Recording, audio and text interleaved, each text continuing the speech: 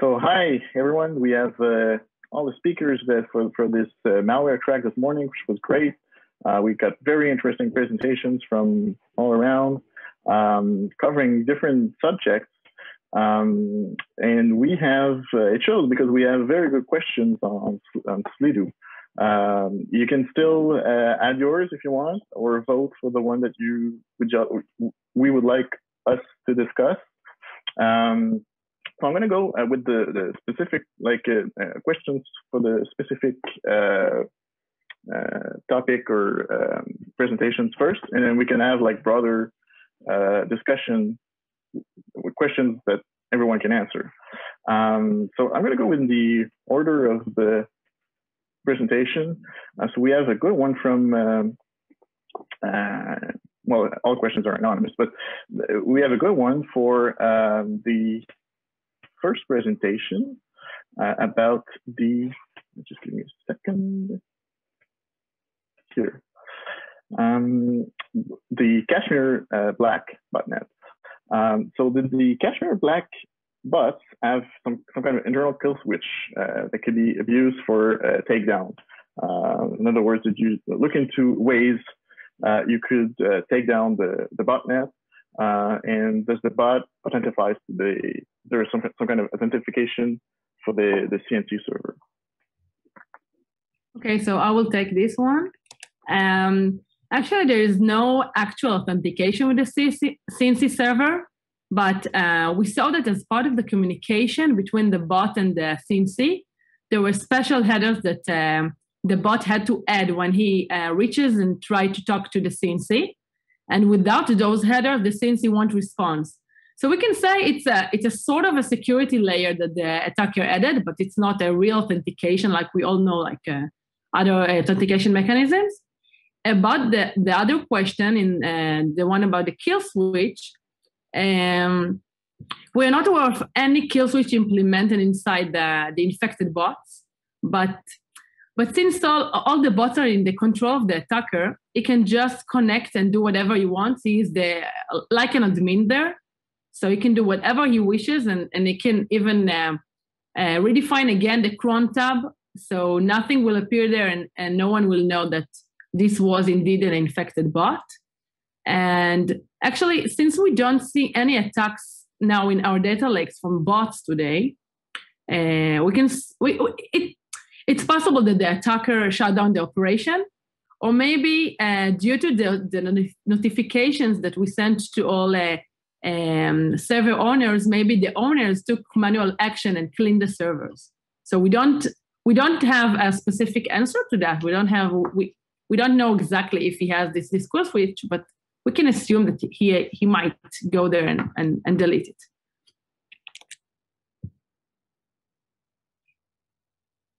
Hope I answered the, the question. Thank you.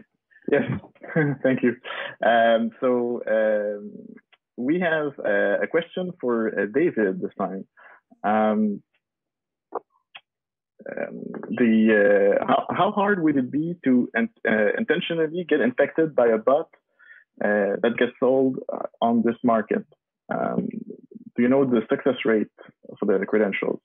And uh, yeah, so so it seems like there's uh, not that many computers, at least in Canada, being infected. So my guess is that if we were to try and do some sort of honeypot of the sort, uh, we'd have to get a server somewhere else than in Canada. Uh, there's a lot of in France. It was surprisingly the number of bots that were for sale from France, US as well. And you know, with the botnet that has you know over 350,000 computers officially at least, um, it wouldn't be all that hard to see exactly. Um, to get one infected. And then the problem is just finding out or you know attracting people and having our bots being sold. Uh, we've seen from the discussions that we've uh, that we've read that the bots that have access to for example uh, commercial bank accounts they seem to be uh, pretty popular. So populating the bot with the right credentials and uh, it seems like many malicious sectors are looking for these. And we know that there's a very big payday if you can get into these accounts. So that would be one way of doing it. um, not our line of uh, business, but you know, if someone's interested, I would be very interested in reading the report on that one and seeing exactly what gets exploited uh, among the hundreds of credentials and cookies that you can find on any of these bots. So uh, clearly, something that would be interesting and for uh, for future research uh, for sure.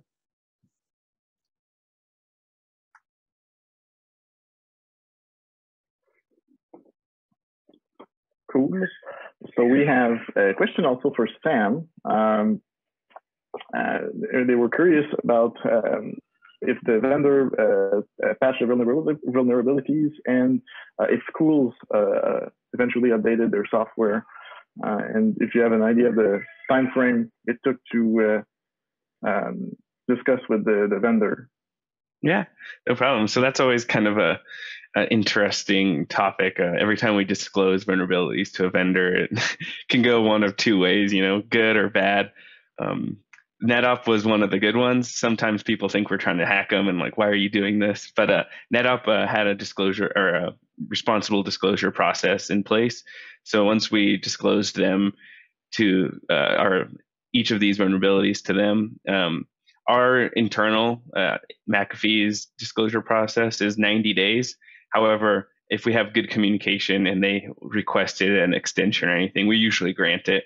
It's the people that um, don't respond and then like the last minute be like, oh, can you extend it? That we we we usually stick to our, our hard 90 days. But um, in the the terms of this Netop Vision Pro software, they they um, got it patched actually pretty quickly and uh, sent us over the the um, the patched version, and we we did some validation on it. Um, and that's uh, that's pretty much where our responsibilities end. Um, it, it, would be nice if we we did have the bandwidth to reach out to you know the infected um, or not infected uh, the uh, affected um, school districts and stuff that have this software installed. But unfortunately, we don't have that client data, um, and we kind of leap that into the Netop's court. Um, but we, we, we try to in our publications and talks like this try to highlight on the fact that there is a patch available and if anyone uh, of you guys are a school admin over there, uh, definitely install the update if you have the software. But um, yeah, the, we we don't really control that process too much. Yeah, thank you very much, Sam. I think yeah. you nailed it. Uh, it's not not always uh, very smooth, but uh, uh, sure, I think seems to be seems to be taking the making this you seem to be very responsible about disclosing these vulnerabilities. Um, so the next question is for our last presenters, um, Warren and Peter. Um, so there are uh, other groups like Lazarus and Kimsuky who are uh, fi- financially motivated, um, and but also, and I'm going to add allegedly to this question. So allegedly motivated to uh, uh make money to benefit to the, the North Korean regime. Um, how would you classify between second tier actors and APT in this case? So thank you, thank you for the question. So um, when we think about tier one APTs, we don't because they well the main criteria is that they are associated to directly associated to some kind some state organization. Uh, and in this case, well, they're in for for that reason, the motivation of what they do, it's not really as important as on on the second on the second tier. We usually we use the motivation more to distinguish the crimeware groups from the tier two, not necessarily tier two from the tier one. In this case, these two groups are allegedly uh, directly linked to state organizations, so that would make them a tier one uh, groups. Do you want to add something, Warren? If I take myself off mute first, and that would help, wouldn't um, yeah, just with what Fitz were saying, like Lazarus and Kimsuky have obviously been long, long attributed to North Korea by multiple um, intelligence communities around the world, and most of their attacks are very, very financially motivated in the the understanding that is to obviously move forward the North Korean regime and, and move forward with what they want to perform. So for us, they would very much be a clear cut first tier APT. They are doing something that directly impacts the, the motivation of their state or the motivation of their, their leadership. whereas some of the second tier groups don't necessarily do that because of the overlaps that we tried to describe in our talk. However, there may be a supporting group that obviously back up the likes of Lazarus or Kimsuky. Good question. Thank you. sure. Um,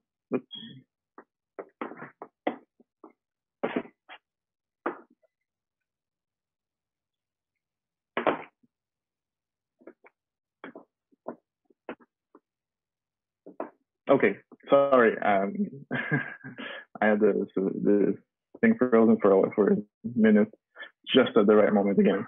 Um, so uh, th- while we are in, in this uh, discussion, um, there's a, uh, very good questions, and I think everyone can jump in and uh, and how and and um, comment on this one is how can you assess the motivation of a threat actor if the visibility into their operation is is biased. Um, I, am uh, pretty sure that every every time we do some malware research, we are biased by our visibility. Um, it, are we perhaps wrong sometimes when we try to to um, assess or you know confirm their motivation?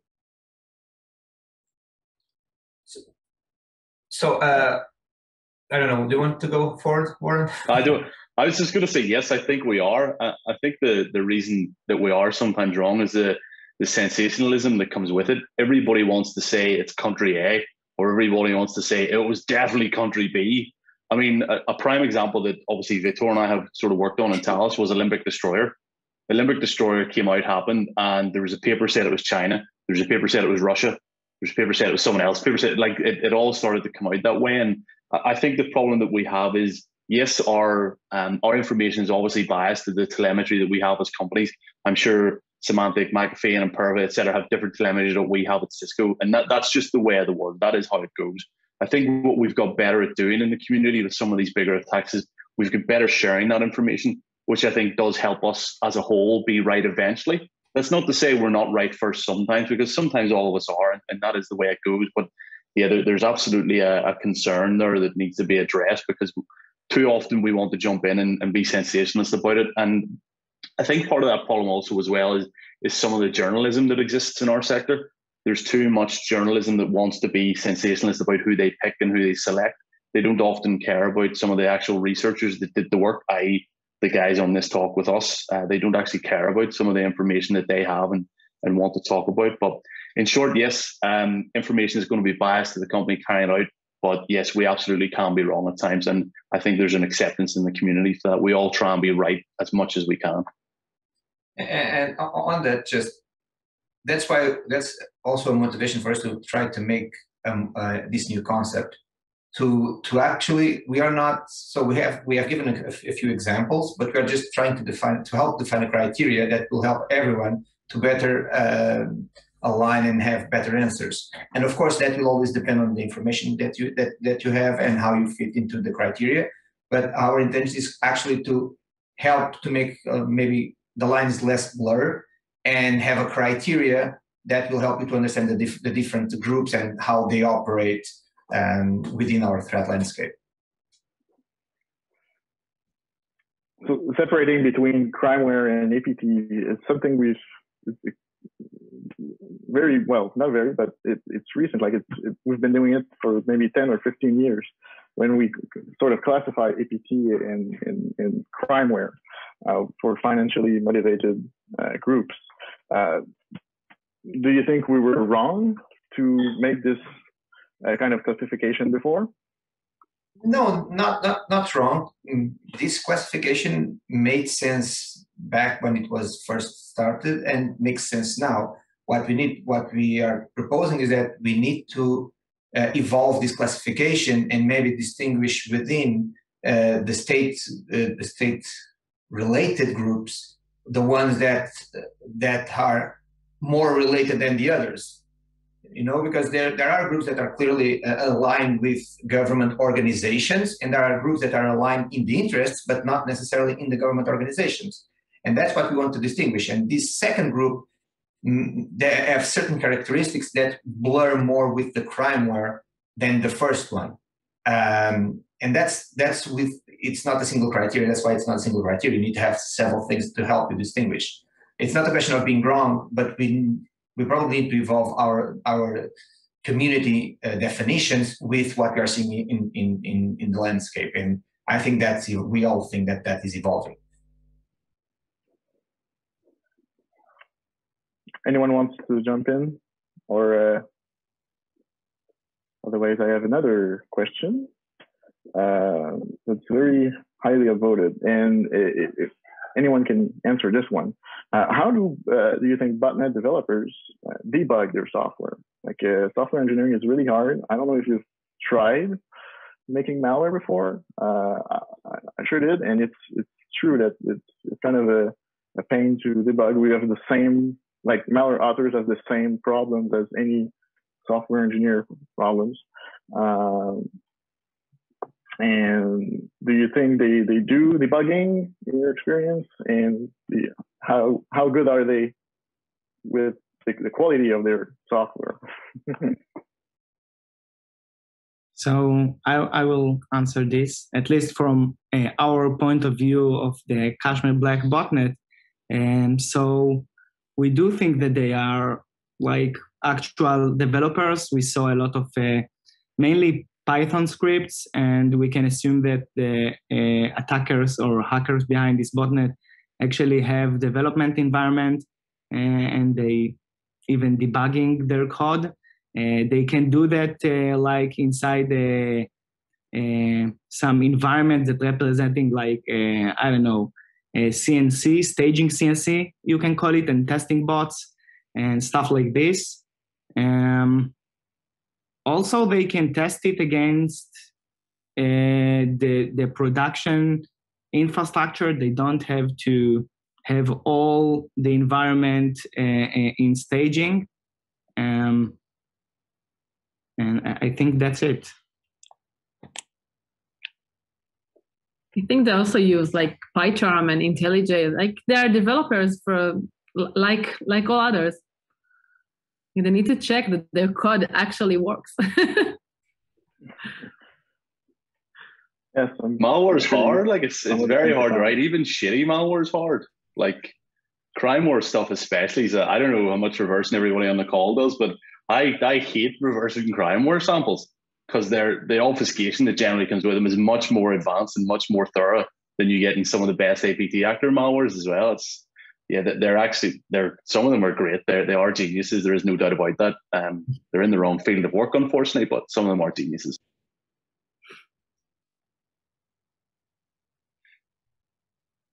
Okay.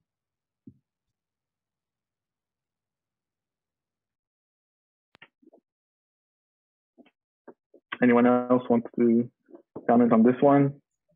I, I just want to say something. I believe that there are a couple of stories I believe there are a couple of stories where the developers have infected themselves, infected themselves, and then someone found their information when they somehow get access to their control panels. So that's my that's also a couple of stories that that that I've seen on, on some presentations. So I guess they test on themselves sometimes. Yeah, and maybe maybe I can add. I mean, uh, I come more from the study of you know online listed markets, and some of these markets are going to have you know hundreds of thousands of participants, and at that point, you're managing you know so many connections. You have to have you know your development server, your staging, your production servers. Uh, these markets have to also handle cryptocurrencies, encryption. So it's pretty impressive, kind of what they're developing, and the number of people that they have to service on every single day is pretty impressive. And um, not sure how much I'm supposed to talk about this, but you know, I saw kind of the the uh, the map of the serverless infrastructure, some of these big, you know, dark web markets, and it is pretty impressive just to see how it's connected from all over the world, how many servers they have for dedicated tasks, even you know for communications between the administrators and clearly these people you know know what they're doing.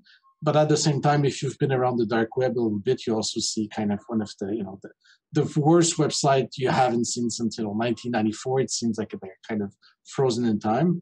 But there is there is some impressive work being done there with all these technologies uh, combined together. So uh, yeah there, there is definitely some some good bad threat actors if you want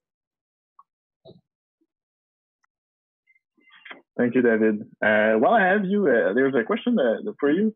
Um, well, anyone can answer it, but I think you may be the, the, the, right person. Is how long does it take for an actual button infection uh, to be listed on the marketplace? Like, there's the moment where a computer gets compromised, and then someone probably manually uh, assess its value and then add it to the marketplace. Do you have an idea about how much time it takes? So I, I, saw the question. I was just looking in the case of you know Genesis Market, the the, the market I talked about in my talk. Uh, you have botnets that have you have bots that have been infected today and that have been updated today that are for sale. So basically, our guess is that it's all automated. They end up in there. All their credentials are kind of organized and presented nicely in the uh, in the platform, and it seems like the turnaround is pretty quick. So a matter of hours probably between the infection and you know they're only giving you access to the information. So there's no you know encrypting terabytes of data which can take quite some time. So in this case it's pretty quick. And this makes it one of the the biggest problem in this case is because you know the buyers are looking for new bots that were just infected. And so kind of if you get infected the time you have to protect yourself appears to be quite limited um, but then if no one buys your bot, then and it stays there for a while, you're kind of in not such a bad position. But it's kind of the the first days are kind of the, the, the critical days you have to go through and hope not to get victimized, basically. Yeah, that's pretty quick. Like hours is uh, they, they they must be like someone almost not 24 7 of course they must be sleeping but uh, i don't know if they have shifts or yeah, yeah probably. I mean, there are organizations like like you know work uh, organization, right? So um, let me see. Um, there was one for uh, about the um, uh, academic software for SAM. Um, and it, it, it, was if you looked into the, the exam, the software for doing exams. Um, did you also look into those kind of software or that the, the, the, because perhaps they, they, they want to verify that you know the person behind the, the keyboard yeah. is actually the student and not so they must be like perhaps overprivileged to get that information uh, so I can really see why this could uh, this this would make it uh, uh this uh, a door for other kind of uh, yeah. Yeah um, so um, we we definitely threw that idea around. Um, uh, sometimes we get to you know play uh, a little bit more on our like our side that we want to choose targets based on what we like. Um, and and one of the guys on our team um, thought that that software is kind of uh, overreaching especially now everyone's taking exams from home. There was there's been some some articles where people uh, like have failed their exams because they like looked away for too long and some people think like that you know with your eyes. So it was one guy wanted to look at those but um we we actually uh kind of looked around on the different kind of schooling softwares and kind of realized that a lot of those are like cloud based and when you're doing security research offensively cloud based research gets a little iffy because um, we're then doing stuff over the internet onto remote servers and and uh, you know production systems. And if we granted we're we're trying to do it in the interest of of good and to like you know disclose anything we find to these vendors. However you know if we still drop all in their database or whatever like that, that's not good. So we we we try to kind of steer away from the uh, the cloud based products as much as we can um, unless we get uh, privilege beforehand. So a lot of the times we we choose a target and we only disclose to the vendor that we're looking at it if we found a vulnerability or after the fact. Um, yeah, a few times people have reached out to us to actually look at things and um, so in that case, we would have probably had to reach out to them, um, to the the exam proctoring uh, company, and and uh, they have the full right to just say no, we don't need to look at it, and you know, like things like that. So um, it was a, a, a, an idea and a, good target. However, we we decided to focus on something that would be installed kind of on the machine um, that we could uh, look at with um, from more angles. Definitely. Um, I have a, a, broader question. So we have um, the um, uh, a lot of the malware that we looked at today uh, is uh, targeted to the endpoint, uh, except for the first one, which is server-side uh, malware, where there's WordPress uh, being compromised and so on. Um, do you think we lack visibility into those server-side malware compared to the uh, Windows or endpoint software? And do you think that there there are more server-side malware uh, than we think there there is. Does anyone else want to take that? I don't know if I'm the most qualified for that question. Anyone. okay.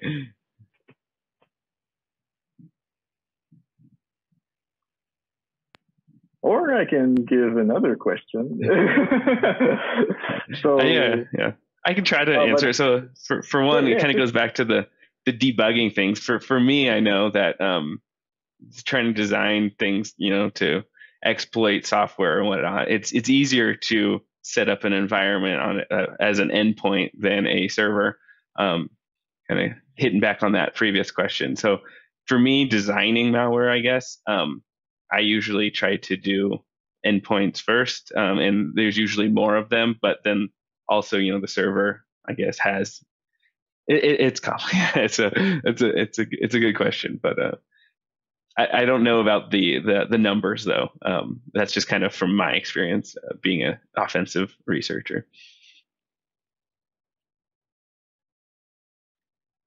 Um, so yeah. I don't think that anyone can say something about numbers, you know, but uh, for servers, uh, so there are a lot of uh, Linux servers that, for example, using um, Linux. So they have installed Python by default.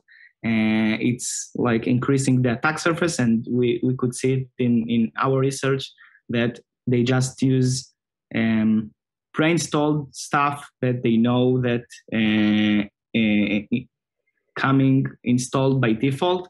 Uh, Perl, Python, uh, specifically version uh, 2.7, which is not supported anymore.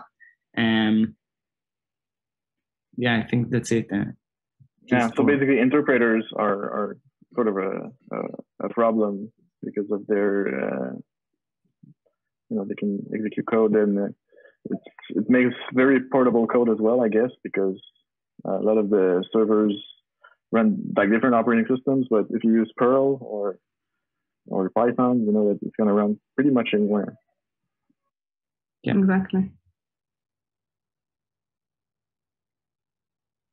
I think you find as well a lot of people assume their servers are safer because they're in different environments, so they don't worry so much about them.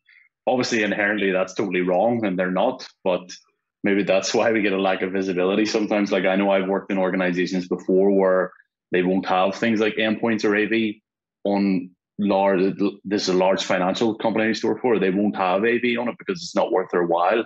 It's not worth the criticality of the nature of that production server, which I totally understand and totally get. But yeah, that does mean obviously as a, as a threat research team, you do start to lack visibility on that side. I think from a, a WordPress and a, a, web server point of view, I think we've got mass visibility on that on, on whole, like across all the companies that we see, because any major server side malware, like it's based on WordPress, for example, it's generally fixed or looked at fairly quickly. Obviously, have guys like Sam doing hardcore offensive research on these things and finding them, publishing them and releasing them and letting people know. So it, it doesn't always rely on the a single competitor or a single um, a single uh, vendor's endpoint either as well. We've got great guys like Sam and, and some of the other people that, are, that have talked throughout today as well who are, who are doing work on that stuff to try and push forward the, the community as well, which I think is really important. It's really critical. Yeah, I agree. So the, there's, I think there, the, my question is was, was someone biased. I really have some uh, idea about it, but uh, I think you're right. There, we underestimate the number of server-side threats that are there, that are there, and you know we spend less. I think the, the whole industry is spending less uh, resources into looking into those those threats. Um, we have five uh, more uh, minutes, um, and um, we are all. As I was looking at the different presentation, we're all like private. Uh, uh, privately held companies. We, we're not public services or anything. Uh, and I, I, know it's been discussed uh, a lot before, but uh, I, I, still think it's it's interesting to bring up is the question of whether attribution is is important or interesting for for our industry. It makes a lot of uh, good stories, uh, perhaps, which is which is very nice. But does it really matter where those the, the attacks or where malware is developed, where they're operated. Um, I'm going to use that last five minutes to discuss that. uh, uh, maybe I'll go first. I, I, I, will just start by saying attribution is a, is a mud pool. That's that's the the, principle, the basic principle that we need to start from. Now that being said, uh, I do believe that it matters. Uh, it matters, maybe not specifically who's behind, but it matters for you to attribute a campaign to a certain group because that will that would allow you to profile the group. The next step, which is most of the times the one that everyone wants, is who is behind that group, and there I think is where it may have be there may exist some doubt if it's important or not. Uh, but of course, if you know who's behind that group, maybe you will understand a little bit better their motivations. So in a certain in a certain aspect it will be important. But it's it, it's uh, it's it's not just about technology. It's about technology. It's about uh, a lot of other information that you need to understand in order to, to do proper proper um, proper attribution. And sometimes you just don't get that information as private as you start by saying we are a lot all of us are private companies and we need to acknowledge the point where sometimes we just don't have enough information in order to make attribution. We may, you, we may be able to align it into a certain group or a certain spectrum, but you may not be able to actually, you may not have all the whole information to attribute it to a specific group or a specific country. And on the other on the other hand, the non-private organizations that may do it may not provide you with you with the information to double check that. And whenever we talk about attribution, we need to live with that fact that we just don't have the whole information to do it. And hence, it will be on one side, maybe biased. On the other side, it may be completely wrong because it's incomplete.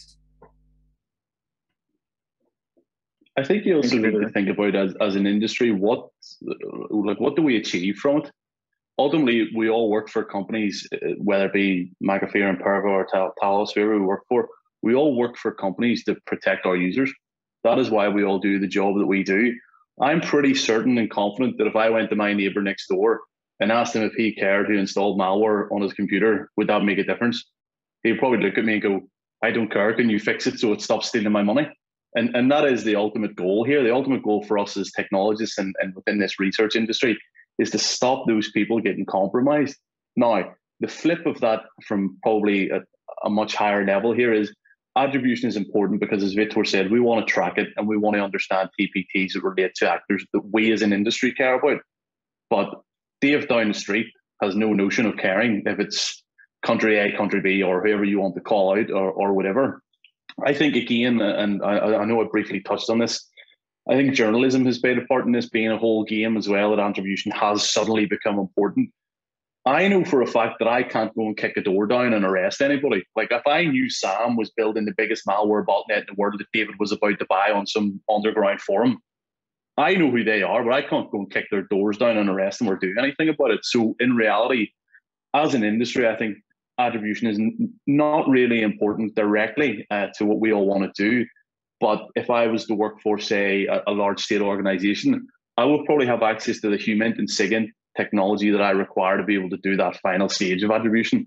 It doesn't matter if I can relate malware A to malware B and say that they're the same actor, because that doesn't tell me who it is. But ultimately, I personally think that as an industry, we shouldn't care. We're there to try and sort of protect our users and ensure that we try and get rid of these dredges of society from the internet. Now, if we can work with law enforcement to direct them to someone, awesome. Let law enforcement go and do the job that they need to do.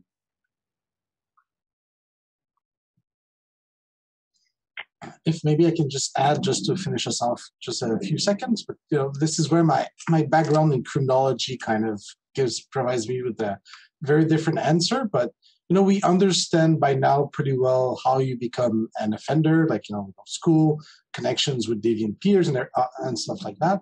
But with you know, hackers, uh, with online crime as well, we have a very poor understanding of how you go down that path and kind of what your criminal career is going to look like and that's one of the things i think that having attribution understanding who these people are what their story is is really important because you know the goal of criminology is going to be to do prevention and to prevent people from getting there. And, and, and when you're looking at you know nation states these people are going to be enrolled they're going to be paid for this uh, sometimes it's some patriotic duty so it's kind of a different case. But in terms of for-profit hackers i think there's much research that needs to look into how do you turn into these hackers and then how can we deploy you know these prevention programs so that people don't end up doing that in the end? So by knowing who these people are i think is extremely important. Um, and there can be some fundamental research that can lead to programs that can be implemented uh, everywhere around the globe. Thank you david for providing a like a different view. Uh, the Sam and, and Sarit, do you want to comment or? No, that's fine. I, I, don't have anything to say, but I, I really liked the, the I agreed with both of you guys. Uh, fully, that was great. Yeah. All right, great. So um, thank you very much for your all your presence and uh, very good presentations.